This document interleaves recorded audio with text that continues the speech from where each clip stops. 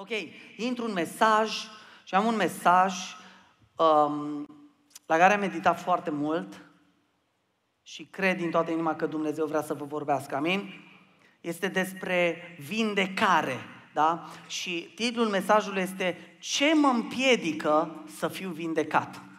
Ce mă împiedică să fiu vindecat? Eram într-o emisiune la uh, Busy Day, uh, pe o platformă din aceasta foarte mare, Dumnezeu să o binecuvinteze. Uh, va apărea în fiecare marți un podcast uh, cu trei perspective din partea uh, a trei oameni diferiți, total diferiți, dintre care unul sunt eu. Uh, și eram acolo și mi s-a pus o întrebare despre cum putem să fim mai buni. Și am început să vorbesc despre Domnul Isus și Duhul lui Dumnezeu mi-a dat aceste trei puncte pe care le aduc și înaintea dumneavoastră. În primul și în primul rând, ca să vindece, întotdeauna îți trebuie credința, atenție, corectă. Ca Hristos să te vindece și ca Hristos să, să vindece și de fiecare dată când vindeca un om, mulțumesc foarte mult, de fiecare dată când vindeca un om, trebuia credința corectă. Pentru că, atenție, Orice alt tip de credință îmbolnăvește. Și mi-am notat aici. Nu știu, dacă voi ați face o listă, hai să ne gândim un pic. Dacă ați face o listă cu credințe false, credințe greșite, în ce ne putem pune nădejdea, speranța, în ce putem pune credința noastră? Credința, ce e credința? Că Biblia o definește. Credința e o încredere neclintită în lucrurile care nu se văd. Da, credința creștină asta este. Dar noi ne punem credința, această capacitate omenească extraordinară pe care, atenție, animalele nu au. Animalele nu au credință. Da?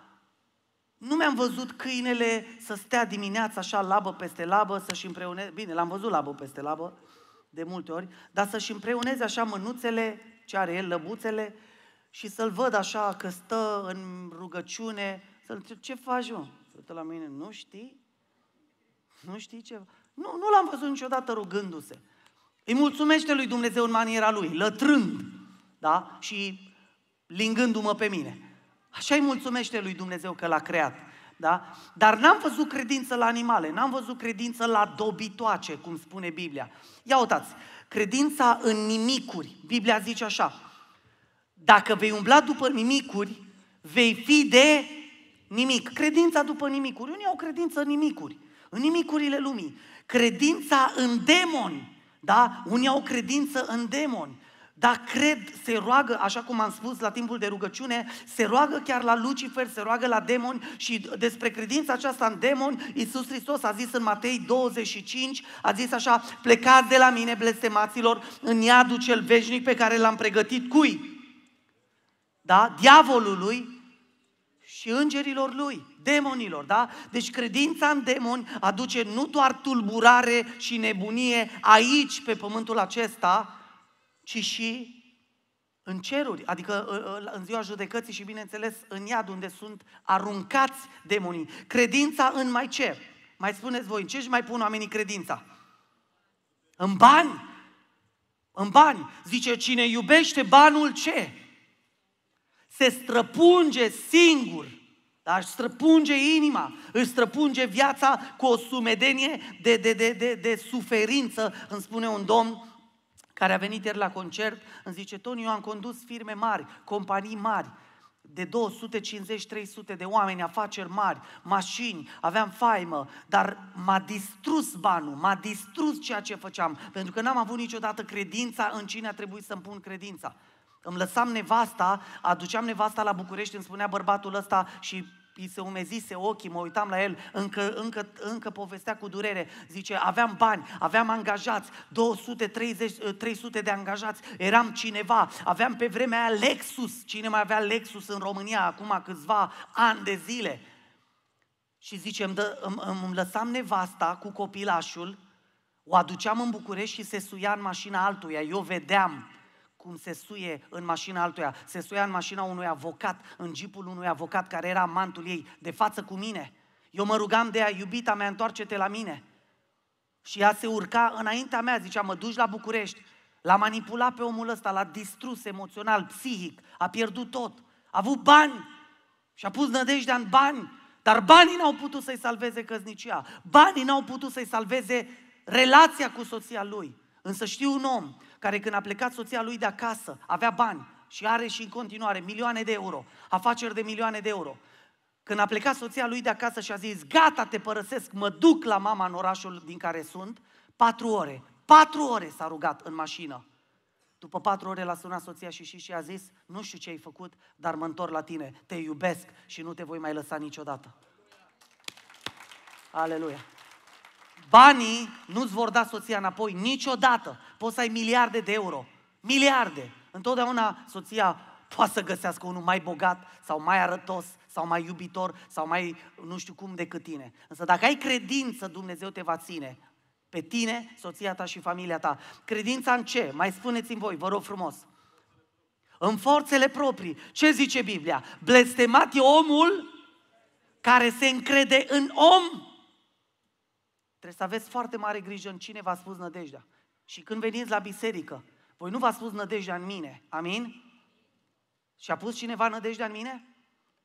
Nu, în Hristos din noi, Hristos în noi, nădejdea slavei. Eu vă slujesc cu ceea ce Hristos a pus în mine, dar niciodată să nu vă puneți nădejdea în mine.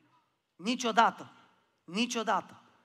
În primul rând veți fi dezamăgiți și doi, doi, eu nu vă pot da nimic. Dacă Hristos a lăsat ceva peste mine, vă voi sluji cu ceea ce a lăsat Hristos. O ungere, un dar de vindecare sau de eliberare, orice. Dar atenție, când stați în fața mea, să nu-mi cereți mie niciodată. Cereți lui Hristos. Și ce le zic oamenilor care vin să mă rog împreună cu ei și ce le zic și cei care um, au fost aici în față știu asta. Știți ce le zic? Ne unim credința.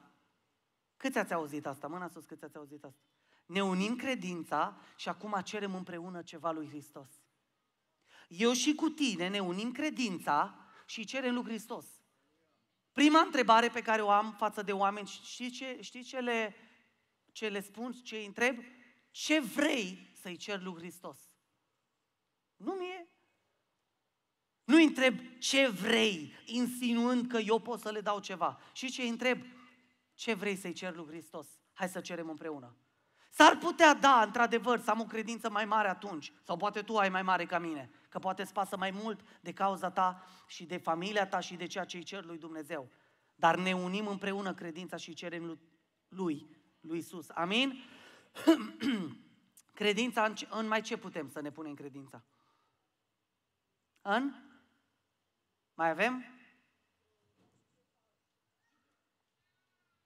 Ați spus mai multe, da?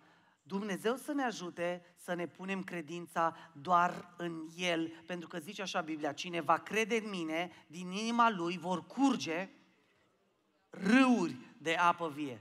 Singura credință adevărată, a, credința, ați, ați zis, credința în religii false, da? Hinduism, în budism, în uh, islam, în uh, mai ce? Martorii lui Jehova, în mai ce? mormoni, mai ce? Mai avem? Ne-am mai întâlnit? New Age, gnosticism, ateism, pentru că și ateismul este o credință. Să crezi că nu există Dumnezeu. E o carte, îmi trebuie mai multă credință să fiu ateu. Serios, îmi trebuie mai multă credință să fiu ateu, pentru că trebuie să, cre- să negi. Și nu există ateu. Nu există ateu, ci există om care N-a vrut să-L cunoască pe Dumnezeu. Hai să vă zic o, o, o întâmplare despre atei. Um, a început să, să îi vorbească un creștin, unui ateu, să-i, să-i vorbească despre faptul că Dumnezeu a creat totul. Și a zis, uite, uite uh, uh, piatra aceasta, e o creație. Dumnezeu a creat un material din care s-a format piatra asta, da? Din care piatra asta a fost formată. Uite-te la pasăre. Pasărea aceasta cântă pentru că Dumnezeu a programat-o să cânte. Cine crede asta? Uh, uite-te la la, la câinele ăsta. Latră pentru că Dumnezeu i-a dat corzile vocale cu care să latre. Și ateistul supărat, zice, lasă-mă, domnule, în pace, lasă-mă, mă, cu Dumnezeu tău. Băi, i-a zis, băi, dacă vreodată mai zici de Dumnezeu, noi doi am rupt orice prietenie. Și a venit vremea ca ateu să se ducă acasă la creștinul nostru. Și s-a dus acasă și creștinul era pictor. A pictat un tablou și l-a pus frumos pe, pe, pe, pe perete. Vine ateul, se uită la tablou și zice, wow, ce tablou, cine l-a făcut? Știți ce a răspuns creștinul? Nimeni. Nimeni. Aveam prin casă niște hârtie, o pânză de fapt, niște acoarele și într-o zi, ce crezi? Nu! Am văzut cu ochii mei cum acoarelele s-au dus la pânză și s-a ridicat pensula și a început pensula să se miște și a făcut niște flori și a făcut un câmp și a făcut un car pe câmpul ăla și a făcut niște boi și a făcut un, un, un, un uh, uh, conducător al carului și a făcut păsări și a făcut cer și ce crezi? Aveam un cui prin cameră și un ciocan, s-a urcat ciocanul pe perete, a bătut cuiul, s-a dat jos, a găsit pânza, o ramă S-a pus în ramă și după aceea s-a urcat tablou pe perete, domnule, s-a pus aici. Îți vine să crezi? Era ateu. Mă e la mișto? Mă e la mișto? Ateu întreabă, cine a făcut ceasul? Cine a făcut boxa aia? Le dădeam exemplu copiilor mei, cărora le predam muzică, le dădeam exemplu, le ziceam, băgați în, aveau penare de, de, de, de tablă, mulțumesc. Aveau penare de tablă și ziceam, băgați o foicică în penar, exercițiu, băgați o foicică și multe culori, chiar și tempera vărsați acolo. Și zdrângăniți așa o oră, două, trei, patru și vedeți dacă vă apare o formă regulată, un cal, un porc măcar, orice, un fluture, n-apare nimic, apar niște pete, măzgăleală. Niciodată haosul nu o să creeze artă niciodată. Dumnezeu este artistul nostru. Amin?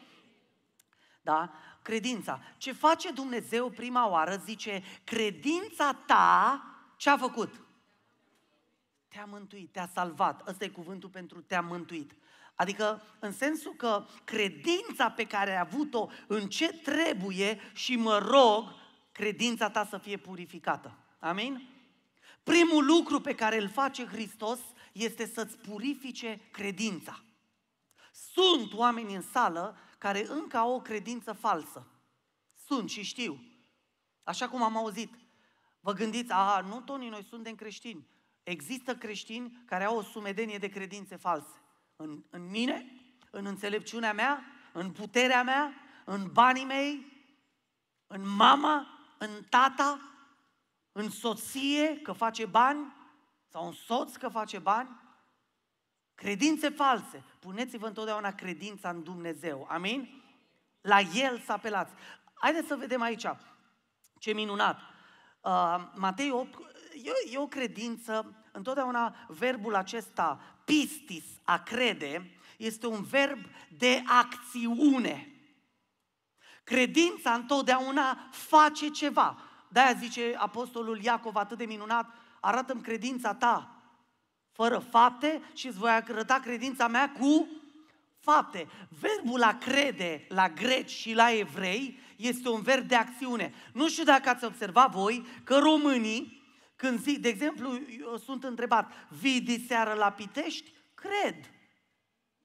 Ce înțelegeți? Vii la slujbă? Cred.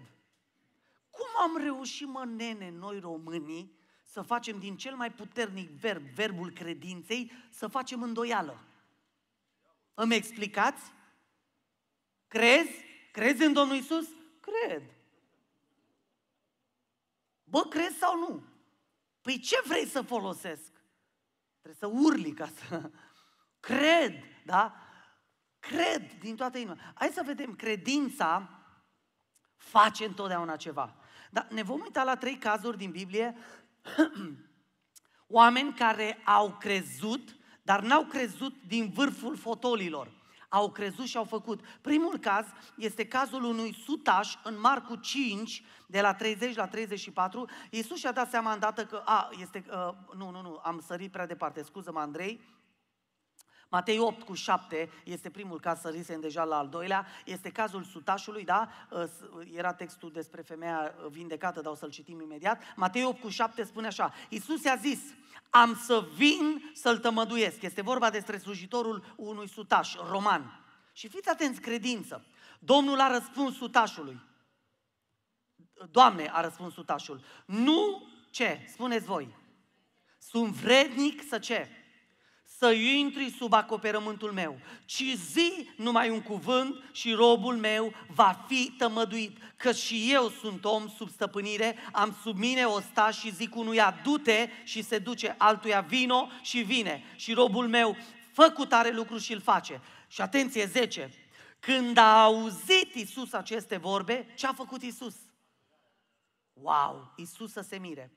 S-a mirat, da? Și a zis celor ce veneau după el. S-a întors nu la sutaș, ci la, ci la cei care veneau după el. Adevărat vă spun că nici în, nici în Israel ce?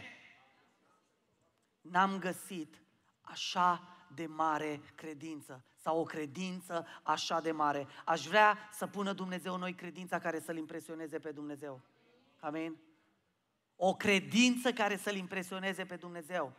O credință care să mute munții. Credința este, e vizibilă, e noi. Am scris ieri pe grup, pentru concert, lumea deja se, se ambala acolo pe grup, o să plouă, Tony o să plouă. Mă sună Mark de la Nathan Idol și îmi zice, Tony, uh, vreau să știu părerea ta, se anunță ploaie. Au, atenție, se anunțau rafale, rafale de ploaie. Mai avea un pic și scriu acolo tornadă. rafale de ploaie. Norii de deasupra noastră arătau a, o rafală de ploaie. Și am scris acolo, pe grup, zic așa, în numele lui Isus nu o să plouă. Mă sună Marc, zice Toni, vrei să aplicăm direct planul B? Și am zis, nu, no, nu, no, nu, no, noi înăuntru nu intrăm. Rămânem acolo. Zice, instalăm tot? Da, vă dați seama că noi luasem, luasem din tobe, luasem instru- instrumentele. Dacă ne prindea ploaia, se ducea evenimentul. Pentru că nu mai aveam timp să intrăm, nu mai aveam timp. Și am, am scris pe grup acolo, în numele lui Iisus nu o să plouă. Și după aia m-am gândit, crezi, Tonișoare? Și știți ce mi-a venit în minte? Ca să vedeți cât de importante sunt predicile, că eu îmi predic și mie. V-ați dat seama de asta? S-a prins cineva? Eu îmi predic și mie. Și știți ce mi-am adus aminte? Din punctul 1 al predicii de data trecută, ce aș dori de la oamenii mari din Biblie, care era? Care era personajul de la punctul 1?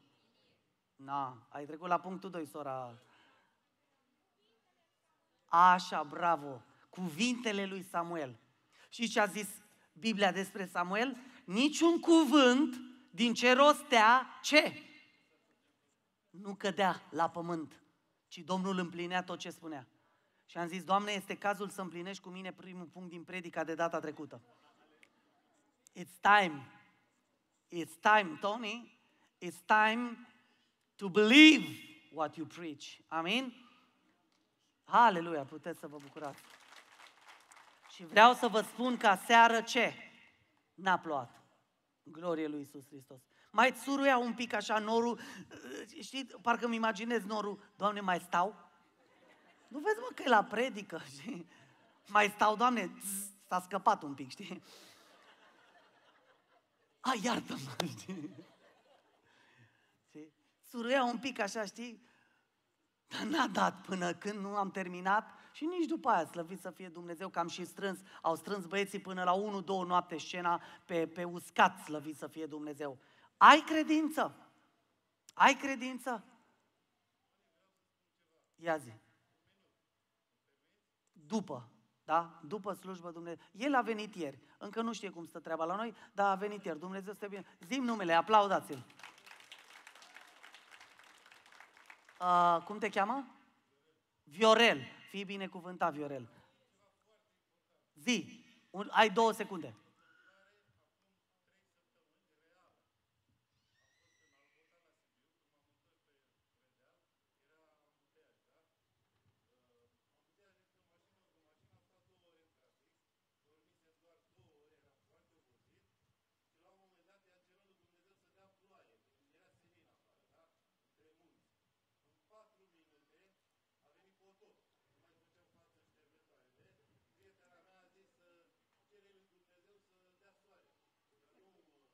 Nu facem față.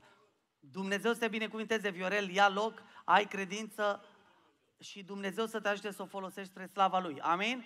Întotdeauna. Aplauze pentru Viorel încă o dată.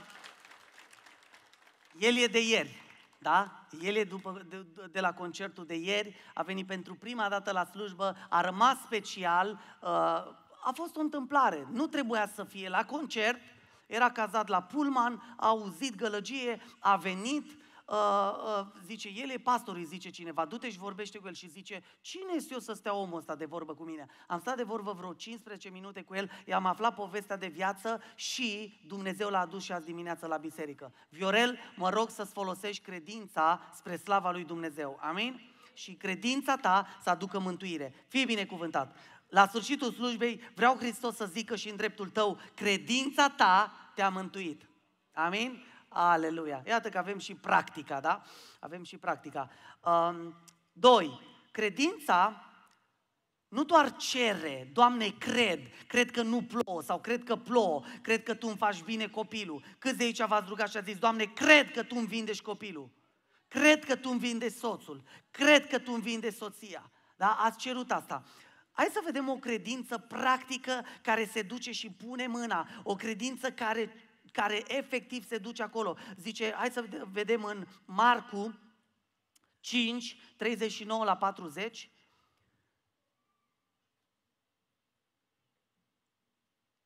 Este, și după aceea vom vorbi despre femeia care s-a atins de Isus. Intrând, le-a zis, de ce vă agitați și plângeți? Copila n-a murit, ci doarme. Dar ei îl luau în râs.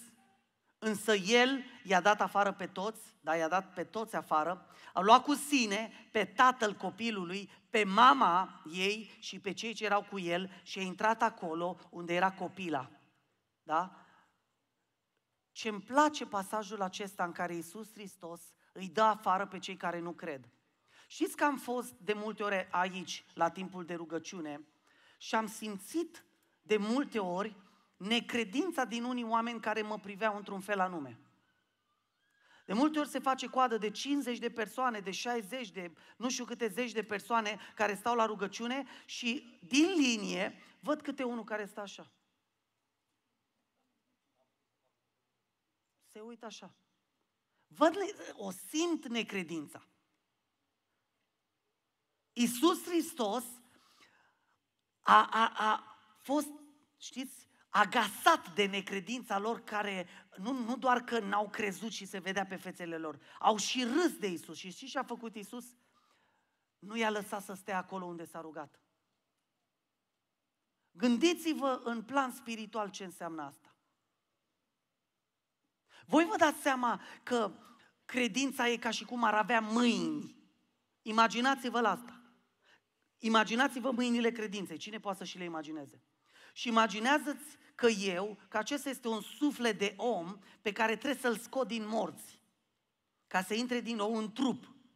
Trupul este încă cald, însă sufletul a părăsit trupul. Și imaginați-vă că mă rog și zic în numele Tău cel Sfânt, Doamne, adu din nou sufletul în omul acesta. Și credința ce face? Bagă mâinile și ce face? Trage sufletul.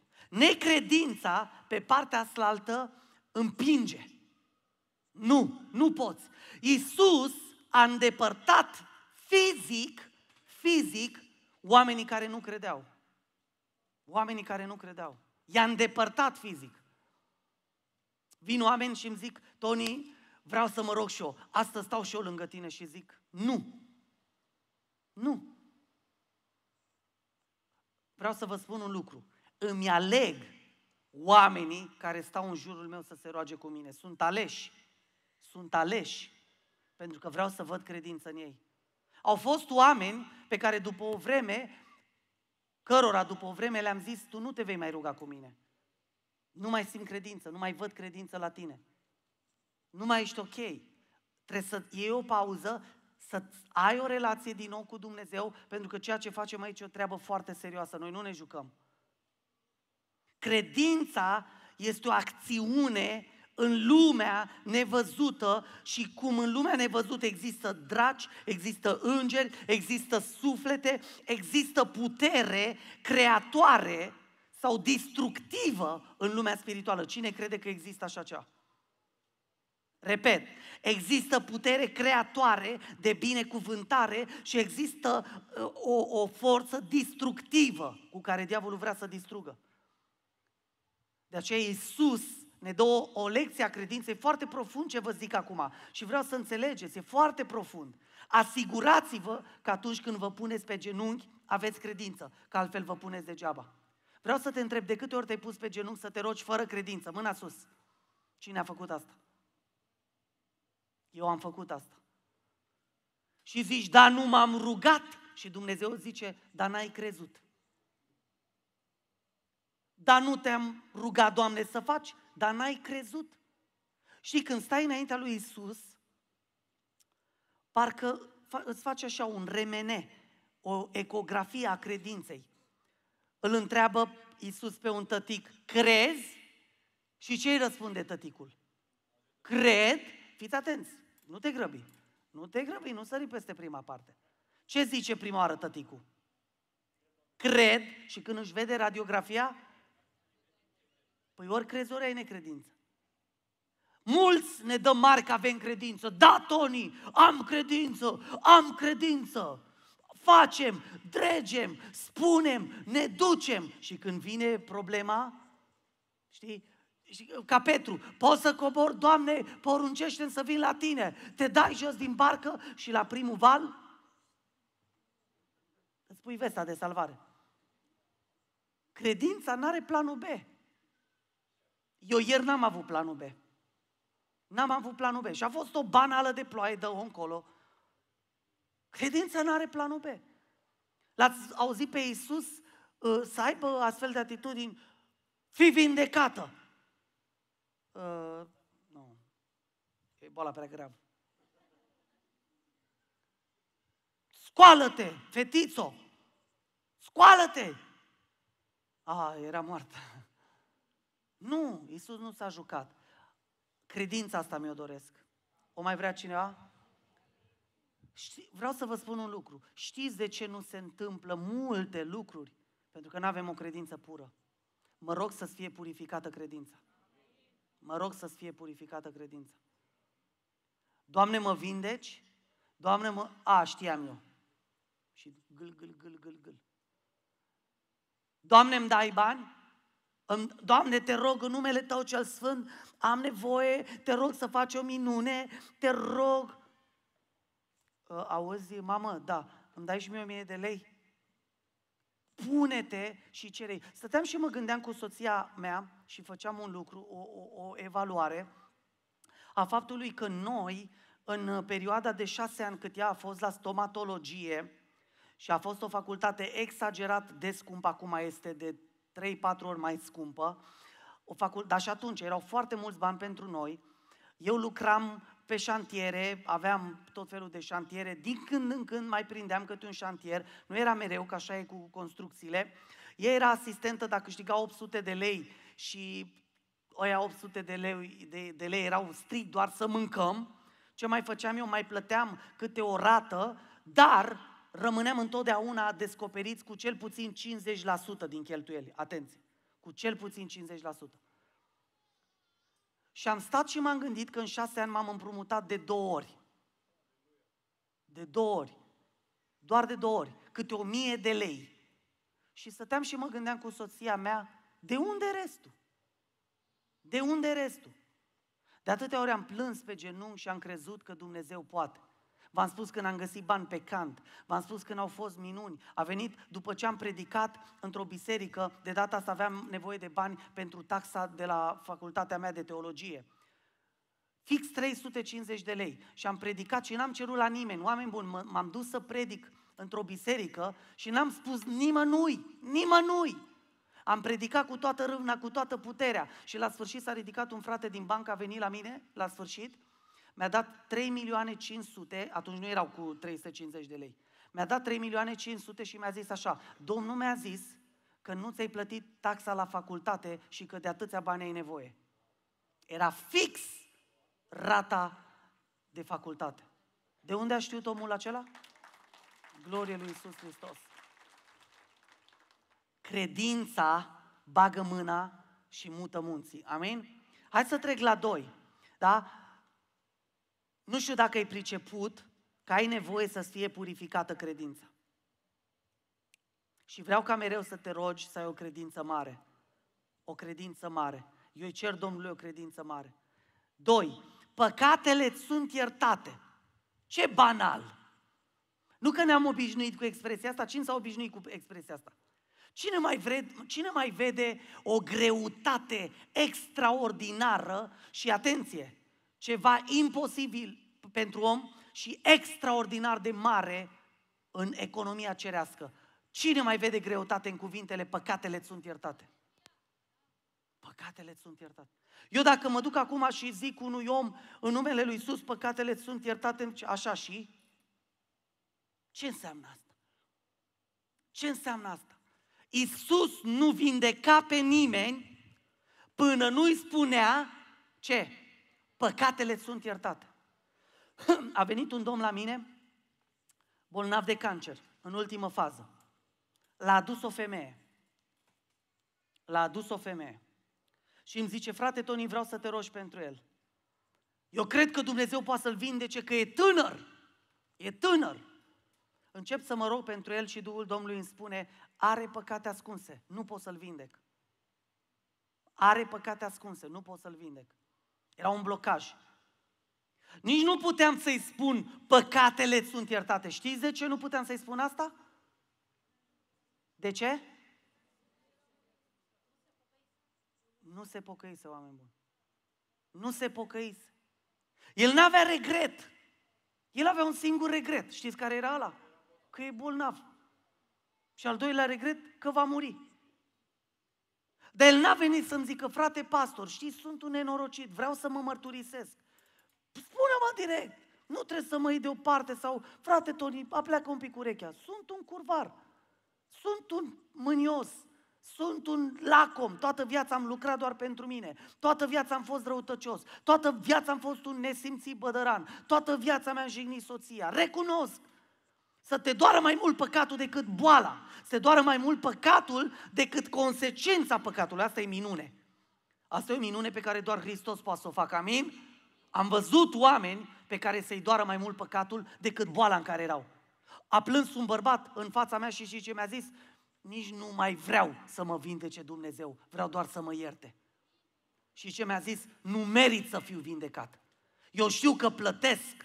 Dacă Dumnezeu vrea să mă ia acasă, mă rog atât, să mă pregătească să mă ia acasă. Și vă spuneam despre bărbatul ăsta, mă rugam pentru el să fie vindecat de cancer și uh, uh, Duhul Domnului mi-a zis nu. Și tânăra de lângă el a simțit, a simțit că rugăciunea mea se oprește, n-are putere.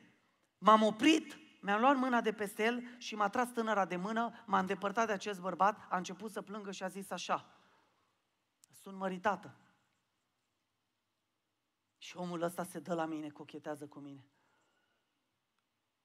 L-am adus să fie vindecat, nu de cancerul lui în primul rând, ci de curvia care este în el. Și plângea femeia asta înaintea mea și îmi spunea, Toni, n-am văzut așa împietrire la nimeni. Ce te doare, omule?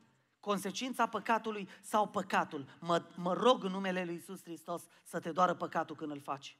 Amin? Numai un om pe care îl doare păcatul înțelege binecuvântarea cuvintelor, păcatele îți sunt iertate. Du-te liber în numele Lui Isus Hristos. Numai un om apăsat de păcatul lui. Nu ne mai apasă păcatul.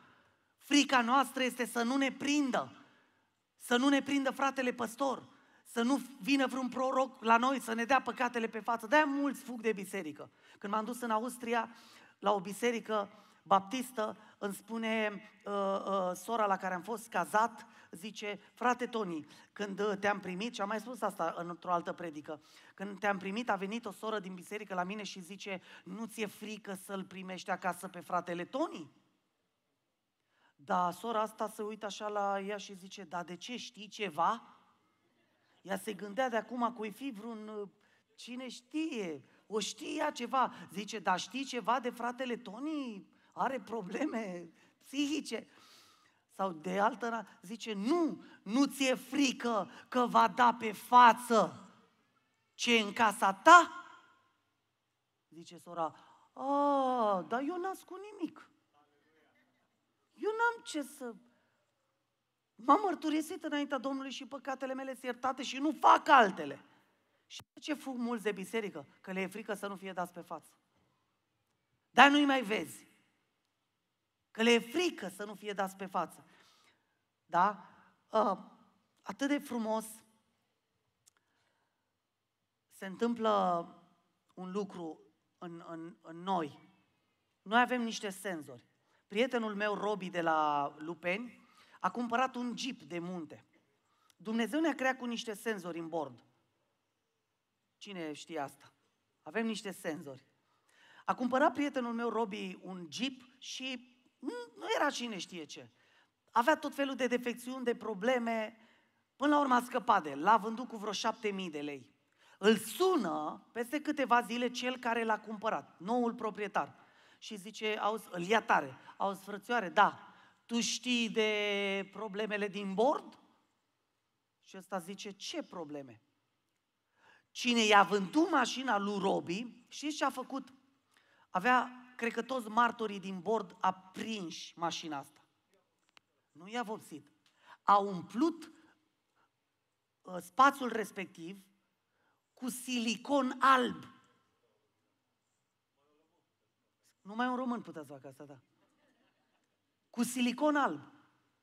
Ăsta când a demontat bordul să găsească o problemă tehnică, electrică, și când a demontat bordul și a luat plăcuța aia, a găsit o, o, un, o, așa, o bucată de silicon alb, când a tras-o, toți senzorii aprinși.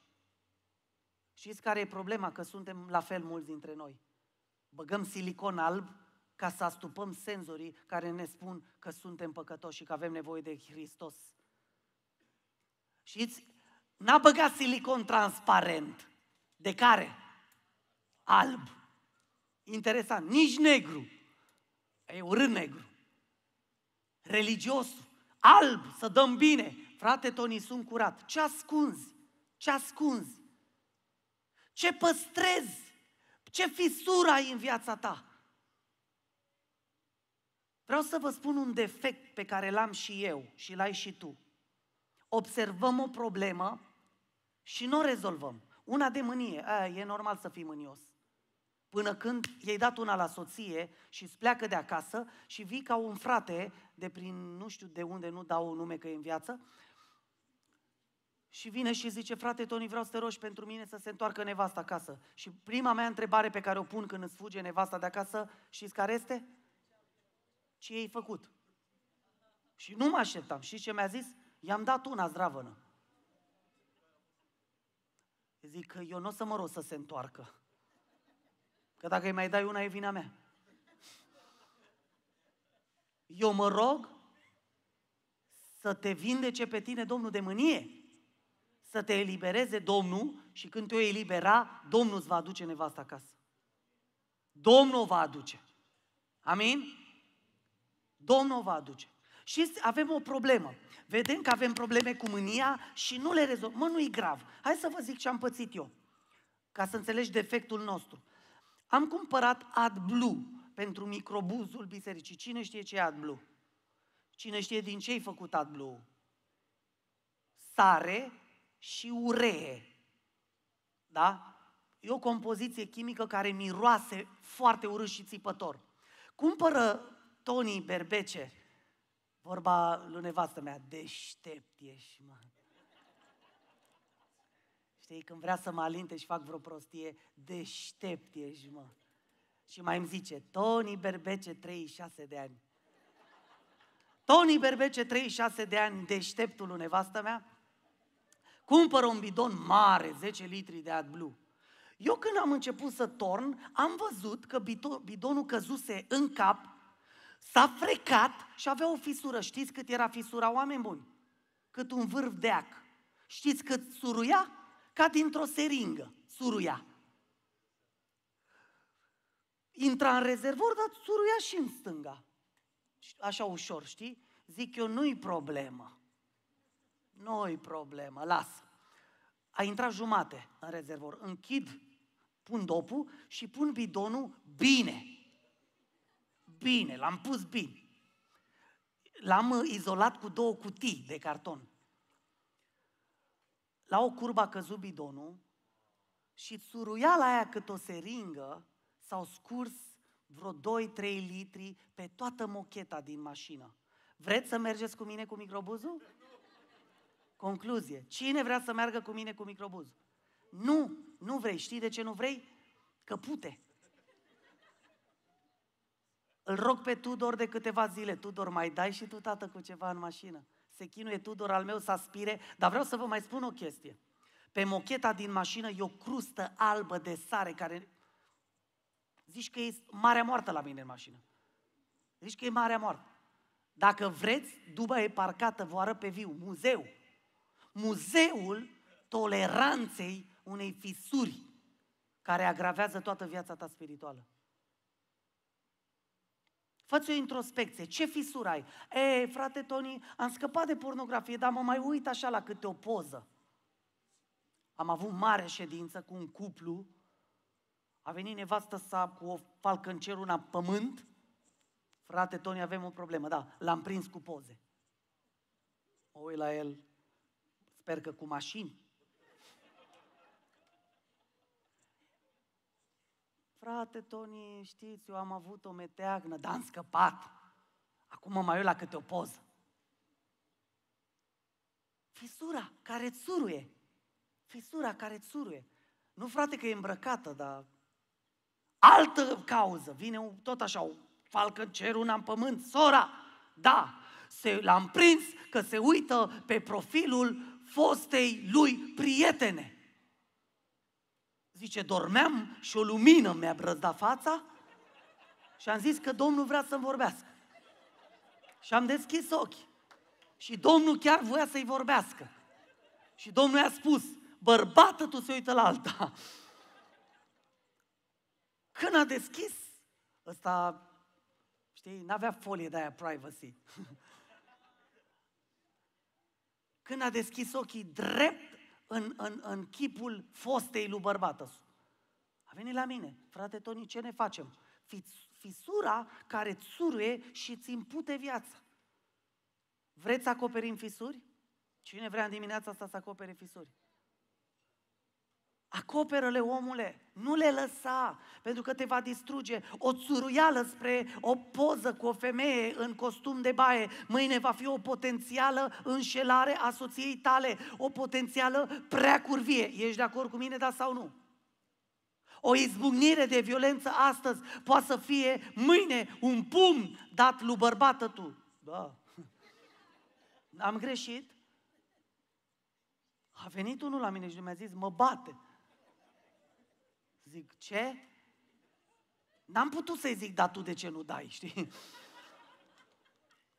Că nu e creștinește. N-au, n-au pe asta. Mă bate, frate Toni. Era sora la, la consiliere, era așa. Zic, soră, nu mai fă așa, că nu e ok, știi? Fă și tu așa, știi, ca Vadim Tudor.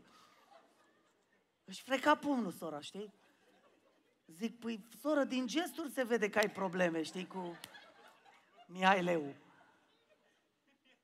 Era pregătită femeia, știi? Cred că l-a amenințat, dacă mai zici ceva, ai grijă ce zici, știi?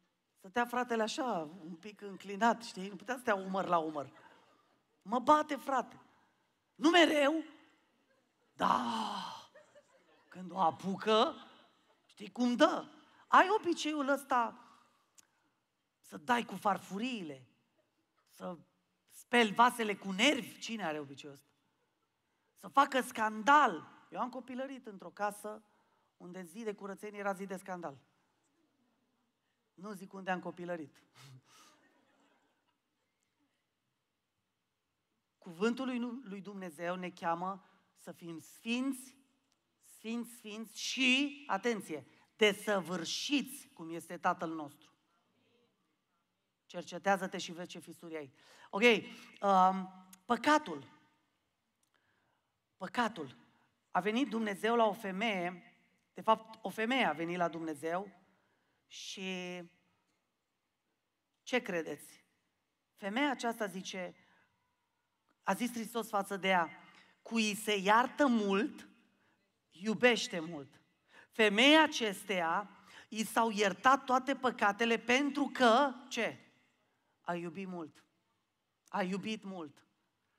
Mă rog să-L iubești pe Domnul cu toată ființa ta.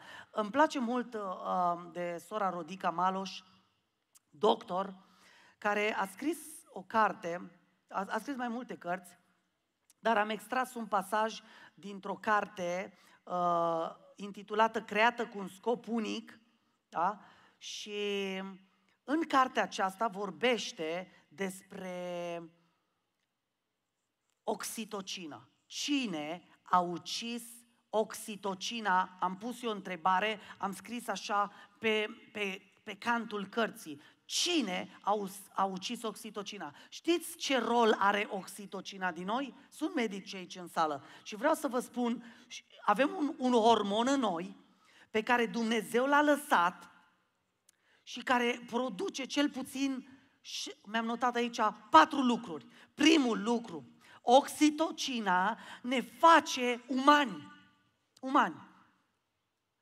Dați-mi exemplu de, de câteva caracteristici umane. Afecțiune, mulțumesc. Ce? Poftim? Mila, să rămână, mulțumesc. Câinele nu are milă. Dacă bagi mâna unde mănâncă, ce face? Te mușcă. Așa sunt oameni. Nu mai au oxitocină în ei. Mai dați-mi exemple de a fi uman. Empatie, adică simți. Și câinele mai simte. Simți, dragă, te simt împovărat, ai o problemă. Ce le mai face umani? Spuneți. Mai aveți exemple? A, nu mai aveți, nu mai știți, gata. Dar ne face umani. Doi, ne face vulnerabili și de încredere. Vulnerabilitatea este o, este o caracteristică umană să te lași în voia aproape lui tău. Vulnerabilitate. Și asta este, e un dar. Nicolae Steinhardt spunea atât de frumos, zicea, numai comuniștii suspectează pe toată lumea. Numai comuniștii. Erau sus... Bă, ăsta e suspect. Unde se duce ăsta? E terorist, e securist, e turnător, e trădător, da? Vulnerabil, când suntem vulnerabili. Trei, ne face sănătoși fizic. Oxitocina are acest rol de a, fiți atenți, înveseli celulele umane. De a aduce o bucurie care aduce sănătate în fiecare celulă. Și patru, ne face să uităm durerea. Este un analgezic oxitocina. Și fiți atenți, știți ce ucide oxitocina din noi? Unu, lipsa dragostei și doi, trădarea. S-a descoperit științific și medical că trădarea în dragoste, de orice fel, trădarea în general și lipsa afecțiunii ne omoară oxitocina. Și ce face păcatul? Păcatul aduce trădare. Cine e de acord cu mine? Ce a făcut un om care și-a părăsit iubita și a luat-o pe alta? Ce a făcut? A trădat. Ce a făcut un angajator care i-a promis jobul unuia și îl dă altuia? Ce a făcut?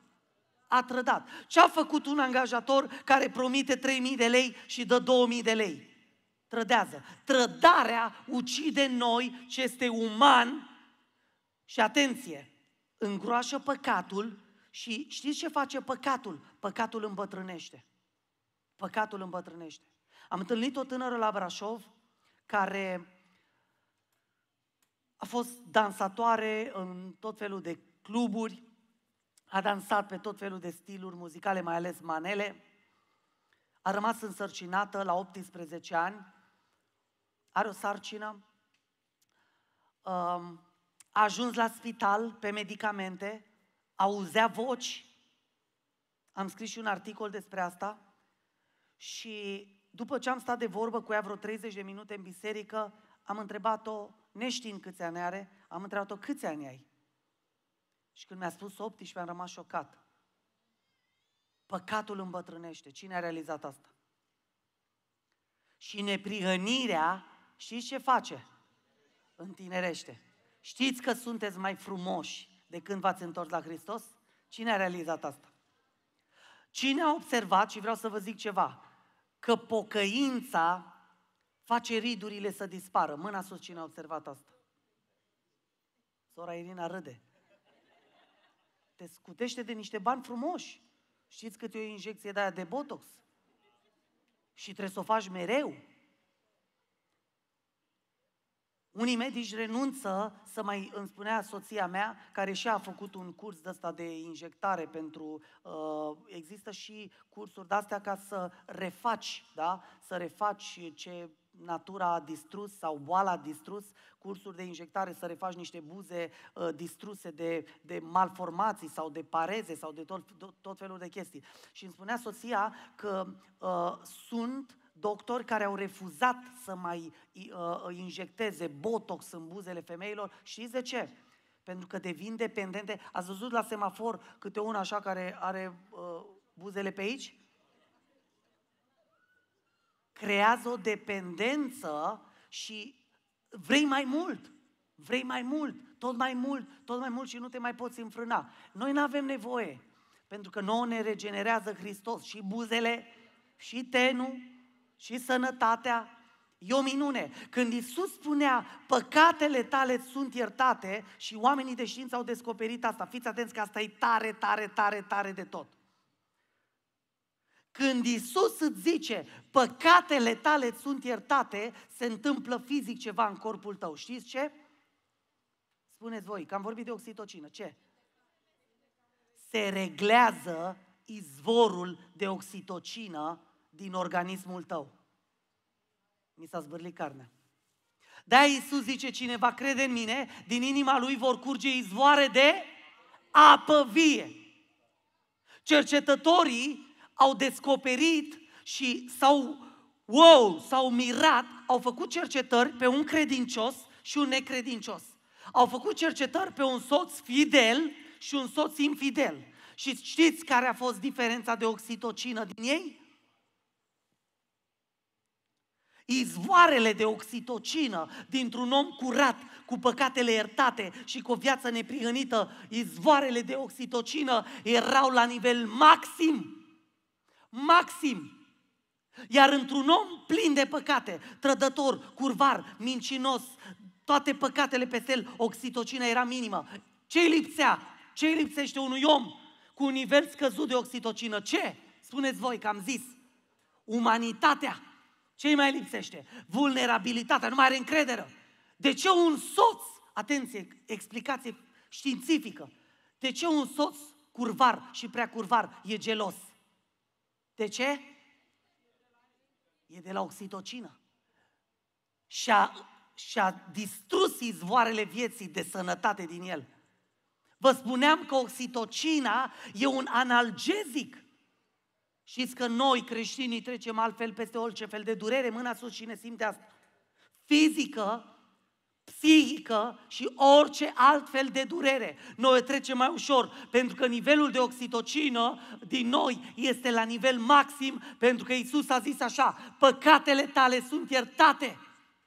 Și pentru că tu duci o viață de neprihănire. Medical, un creștin este sănătos, tun în numele lui Isus și trebuie să fie. Amin? Dumnezeu să te binecuvinteze. Și trec la ultimul punct și închei.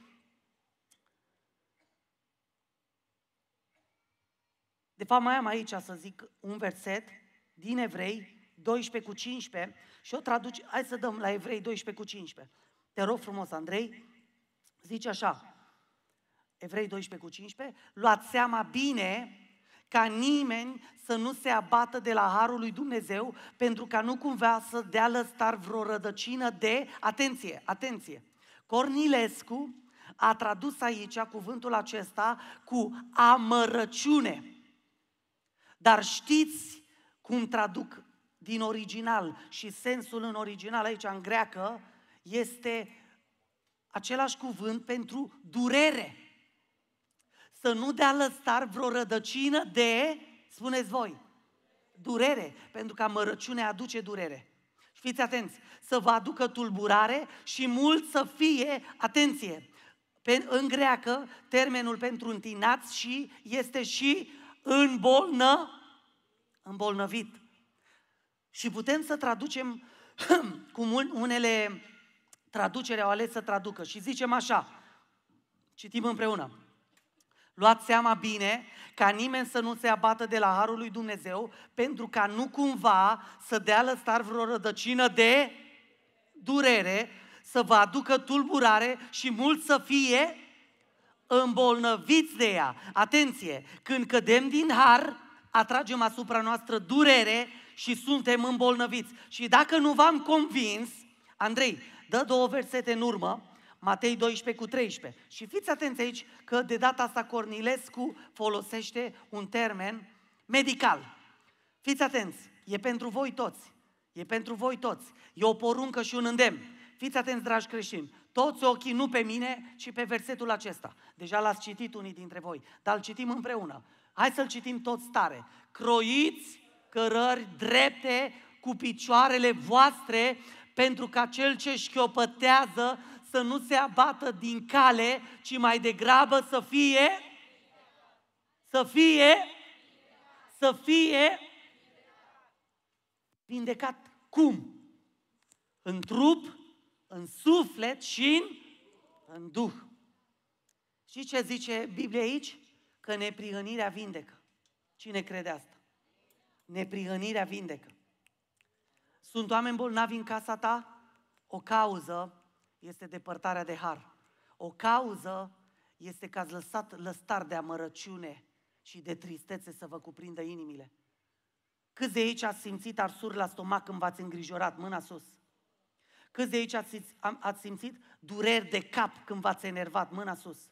Am avut o discuție ieri cu cineva aici la biserică și a reușit să mă tulbure. A reușit să mă tulbure destul de tare. Și eu am probleme cu sosurile astea care nu-s bune. De exemplu, dacă mănânc un sos sau o șaorma și sosul nu este proaspăt, imediat îmi ies pete pe mine. Imediat îmi ies pete. Eu, dacă vreți uh, să mă cheme ăștia de la șaormerii să le testez sosurile, în 5 secunde ca testerul ăla, știi? Și la ăla descuip salivă și se fac două liniuțe dacă ești bolnav. E, așa sunt eu. Îmi dai să gust sosul, pun pe limbă ketchup și te uiți pe mine. O să vezi niște pete roșii. E, ieri vorbeam cu persoana asta și mi-au ieșit niște pete roșii și vine nevastă mea la mine speriată. Ce ai mâncat? Ce sosuri ai mâncat?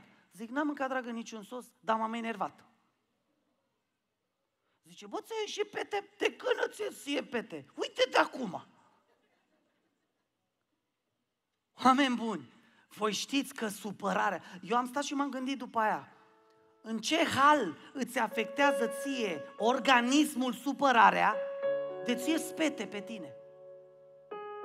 Voi vă dați seama ce în interior? Dar ce zic celulele alea? Calmează-te, mă! Oprește-te! Îți dai seama să-ți iasă pe... Dar mai e ceva. Știți, pet, nu pete, nivelul următor al supărării, eczema.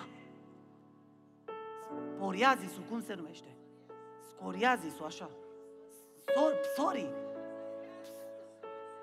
Soriazis. Ăla, ăla, ăla. Sori, șoriazisul.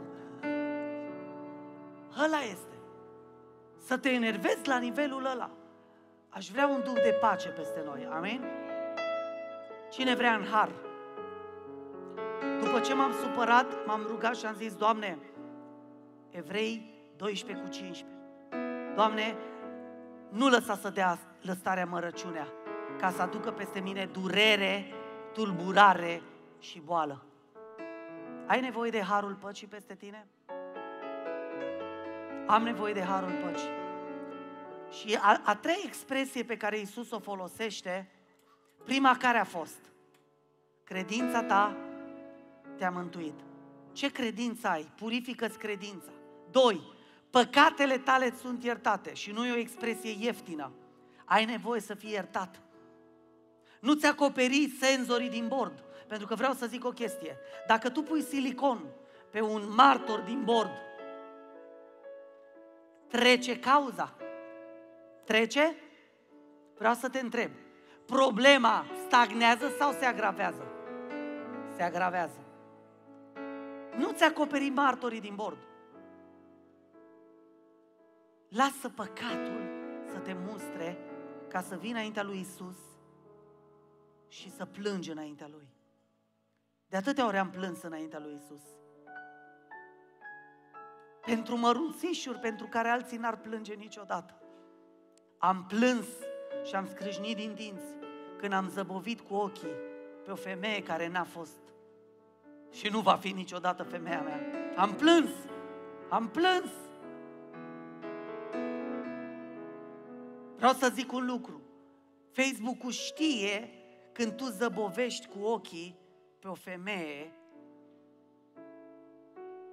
sau pe o reclamă și îți va da mereu, dacă mai mult de 3 secunde ai stat cu ochii pe o imagine, îți va da Facebook-ul mereu în feed-ul tău acele imagini. Cine a observat asta? Și am stat și m-am gândit așa, Doamne, dacă Facebook-ul știe că eu am stat 3 secunde pe pozele cu o femeie, oare tu nu știi? Oare tu nu știi? Dacă Facebook-ul știe că mie îmi plac mașinile și sunt nebunit după mașini și că îmi pierd timpul numai cu mașini, oare tu nu știi cât de multă nădejde mi-am pus în gunoaie și nimicuri? Dacă Facebook-ul știe că mie îmi plac glumele porcoase și îmi dă mereu filmulețe de la ăștia, de la ai umor, să drăcuie și să spurce aia într-una, oare tu nu știi că sunt în căutarea gunoaielor lumii acestea? Iisus spune a treia mare afirmație care vindecă. Du-te și să nu mai păcătuiești. Iisus îți zice, credința ta, credința ta contează. În ce ți-ai pus credința, Tony? Hai să ne ridicăm în picioare. Hai să ne ridicăm în picioare. Vrem vindecare? Cine de aici vrea vindecare? Cine de aici vrea vindecare? Dacă vrei vindecare, la control credința ta. În ce te încrezi? În ce te încrezi? În ce te încrezi? Vreau să mă încred în tine, Doamne, că ești de partea mea. Doi, dacă vrei vindecare, nu se poate fără păcate iertate. Și am vorbit de fisuri. Fisuri. Ce fisuri ai? Ce fisuri ai? Doamne, vreau să fac curat în viața mea. Cine vrea să facă curat în viața lui? Aș vrea să spăl vasele cu bucurie. Nu mai vreau să dau cu ele. M-am săturat să cârtesc, să mă enervez când bag hainele la spălat. Că știu toți din casa mea cât de murdari sunt. M-am săturat și nu mai vreau să fac mâncare cu nervi. Că doar eu gătesc, că doar eu spăl. Pentru că nu vreau să dea lăstarea mărăciunea ca să mă îmbolnăvească și să aducă tulburare peste mine. Nu vreau pete. Nu vreau psoriazis pe mine. Vreau să fiu vindecat. Vreau să trăiesc în vindecare. Nu știu dacă pricepeți că voi și că noi și că eu suntem cauza îmbolnăvirilor noastre dese. Suntem cauza îmbolnăvirilor noastre dese. Inimi bolnave, stomac bolnav, piele plină de bube, riduri pe față, rinichii. Știți, știați că rinichii dor de la amărăciune? Cine știa că rinichii dor de la amărăciune? Prima mea criză de rinichi a fost când am lovit mașina a doua oară. Criză de rinichi. N-am știut ce înseamnă aia. M-am dus spre urgență, dar slavă Domnului că s-a rugat soția peste mine, a pus mâna pe mine, ea conducea. Cu o mână conducea, eu eram cu scaunul întins, zăceam, urlam de durere, mă dureau rinichii, ambii rinichi. Tocmai lovise mașina, botul mașinii era varză și ne întorceam la București. Ne-am distrus vacanța atunci, am distrus vacanța, nu ne-am, că nevastă mea nu era de vină. Am distrus vacanța, am lovit mașina și nevastă mea mi-a zis, Toni, stai liniștit, tată, n-are nimic. M-am agitat, m-am amărât și m-a luat o criză de rinichi și fugeam la 12 noaptea spre Spitalul Municipal din București. M-a vindecat Domnul pânță să ajungem, dar am primit o lecție. Amărăciunea aduce boală. Du-te și să nu mai păcătuiești. Pentru că păcatul, așa cum ți-am spus, scade nivelul de oxitocină, scade nivelul de umanitate din tine. O, Iisuse, fă-ne sfinții tăi. Vreau să cântăm o cântare acum împreună cu grupul de închinare care spune amăgire, amăgire. Poate te-ai amăgit până acum. Ai tolerat fisuri, ai tolerat păcate, ai tolerat credințe false. Te-ai încrezut în bani, te-ai încrezut în puterea ta, te-ai încrezut în nimicuri, te-ai încrezut poate în ocultism. În ce te-ai încrezut până acum? Și ce vreau să cred în seara asta? Că e o purificare pentru noi aici. Cine crede asta? E o purificare pentru mine. Eu am nevoie de o purificare. Vă spuneam că ieri, ieri, au ieșit pete pe mine că m-am enervat.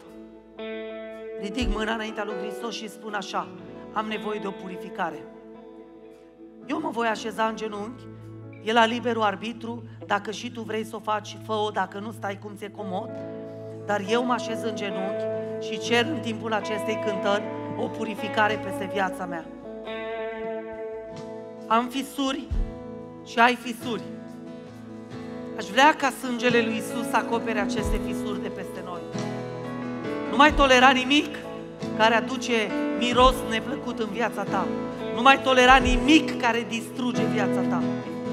Sângele lui Isus să coboare chiar acum peste noi și să ne sfințească. Roagă-te, mărturisește, cere lui Isus putere. Stai înaintea lui că El e și te ascultă. Stai aici înaintea lui că te ascultă și e